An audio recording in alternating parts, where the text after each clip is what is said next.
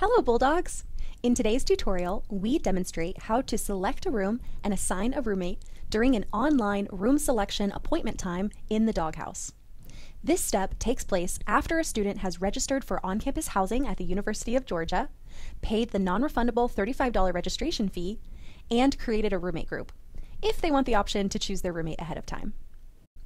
Prior to logging on to the Dawg House, we received a notification to our UGA email account with the date and time of our online appointment to select a space in the Dawg House. University Housing sends weekly notifications about upcoming appointment times. This is why it's a good idea for students to check their UGA email regularly, so they don't miss out on important updates related to their enrollment at UGA. It's officially time for us to choose our space. Today, we're impersonating a fictional, male, incoming first year student named Q. First, we expand the menu in the top left corner and click on Register for Housing. Next, we continue our registration for the appropriate academic term. At the top left of the screen, we see a checklist.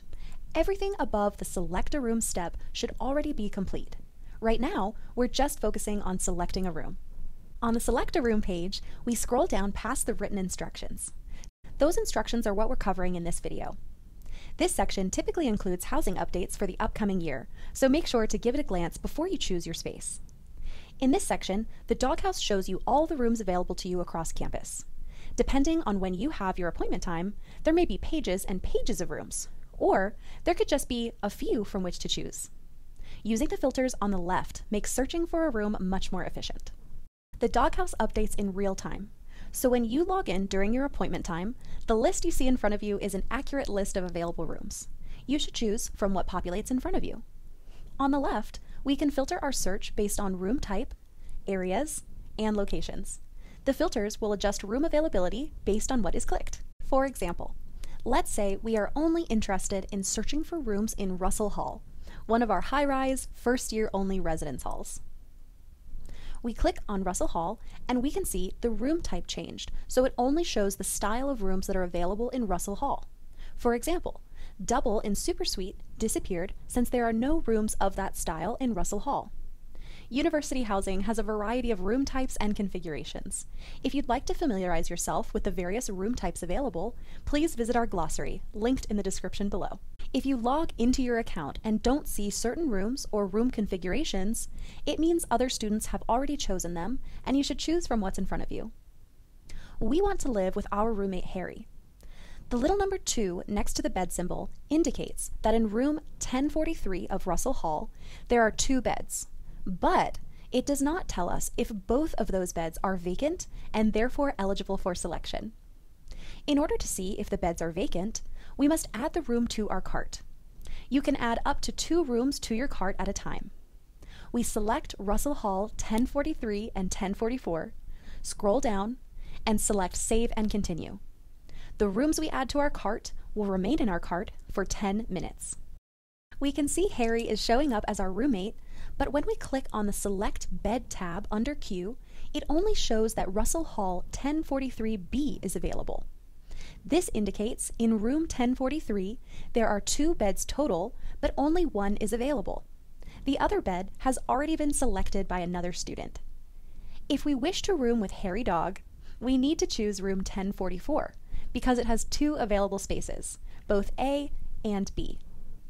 Now let's pretend that neither of these rooms had enough available beds. All we do is press the back button in the top left corner of our browser window remove the rooms from our cart, and continue searching for rooms by adding them to the cart and checking the bed availability. Let's go back to our original selection.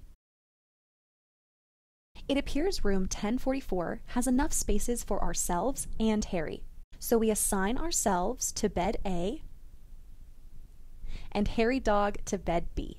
Once all roommates have been assigned to beds, we click Assign Beds then we double check to make sure everyone is where they want to be. When we're ready to move forward, we click Save and Continue. And at this point, we have both been assigned to beds in the same room in Russell Hall and can no longer search for rooms. Once we see the Booking Success Wait for Contract page, click Continue. We should now let Hairy Dawg know we have reserved a space for him. Hairy should log onto the Dawg House and click My Details to view the reservation. If Hairy does not see the reservation after consulting with Q, he should contact University Housing immediately. If Q did not assign Hairy to a space, Hairy would need to wait for his own appointment time and choose for himself. In the coming week, we can expect an email from University Housing with our contract for the upcoming year. All students are expected to read their contracts, ask any questions if they have them, and execute their contract online by the deadline stated in the email. Students should check their UGA email regularly so they do not miss the contract deadline.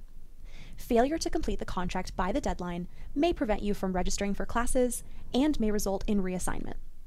Thank you so much for watching this video. If you found it helpful, please give it a thumbs up. This helps other students find our videos more easily.